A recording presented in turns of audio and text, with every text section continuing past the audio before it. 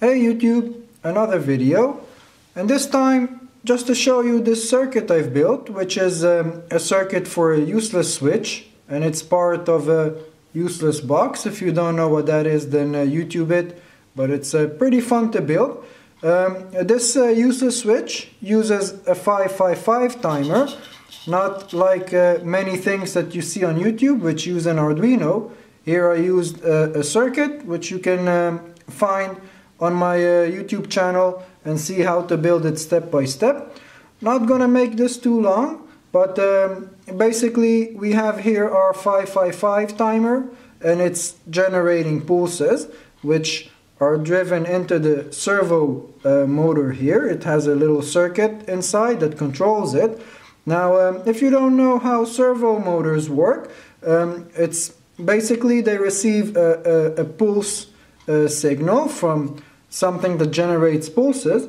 And um, according to the width of the pulse, um, that will dictate how the servo will turn, um, where it will turn to. And um, you can see an example here. Now I don't want to make this uh, too long trying to explain what you're seeing here, but what, what you see is the pulses. So here we have an LED and it's flashing. It's flashing pretty fast, so I don't know if you see that uh, correctly on the camera or not.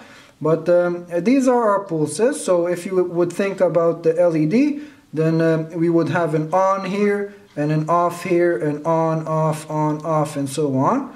And by making the on-off um, uh, time shorter or longer, we control where the servo um, will be, at which position it will go to.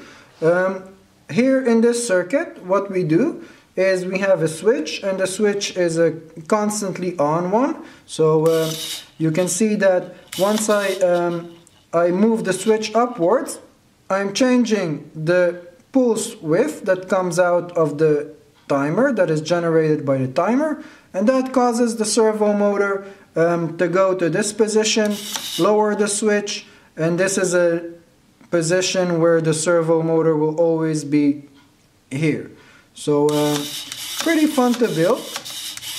And um, if you want to see uh, the video on how to build this circuit, then um, you're going to find a link at the end uh, of this video.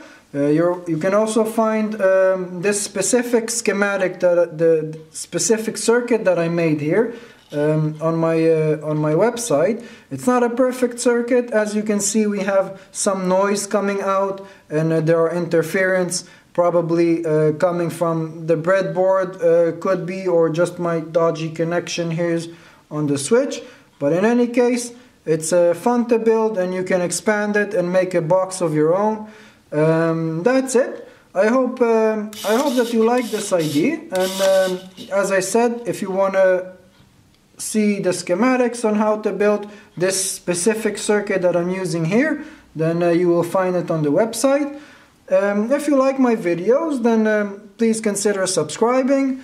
And uh, that's it. I'll see you next time. Thank you for watching.